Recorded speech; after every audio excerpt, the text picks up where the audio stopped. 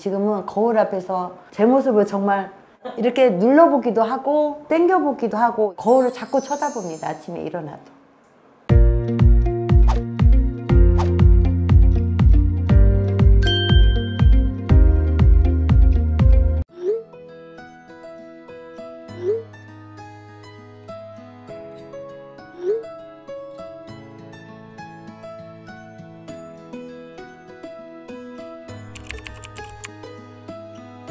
우리가 이제 눈썹 파거상이랑 눈밑 지방 재배치 하셨잖아요. 네.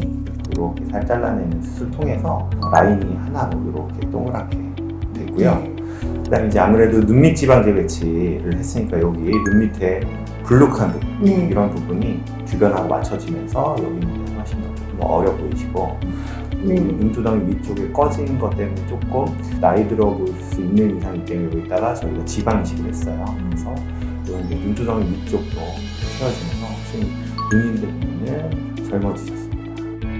이제 얼굴 전반적으로 우리가 미니 리프팅하고 네. 그다음에 지방 흡입하셨으니까 볼륨이 좀 줄어들면서 얼굴이 좀 작아진 느낌 그리고 전체적으로 잘, 잘 올라가셨어요.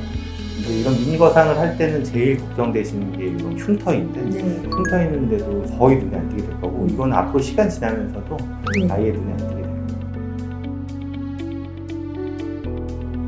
내 얼굴에 주름이 어, 왜 이렇게 자꾸 생기지? 얼굴이 처지지? 하는 마음이 있어도 사실은 용기가 없었어요. 딸아이가 좀 성형을 한번 해보면 어떠냐 제의를 하길래 하겠다, 하고 싶다 이렇게 대답을 한 것 같아요. 제 자신이 너무 행복하고 웃음이 많아지는 걸 보고 남편도 적극적으로 자꾸 하라고 합니다.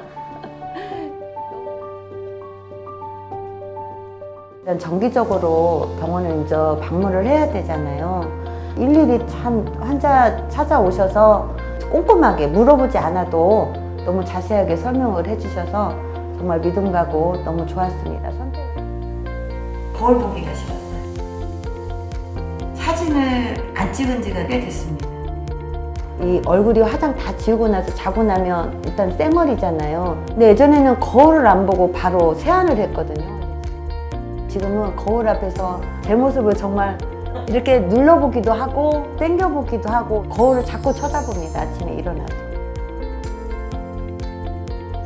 너무 고마우셔서 감사하다고 인정나 잘해. 인터뷰 잘했어? 음, 엄마 또 솔직하니까 솔직하게 잘했는데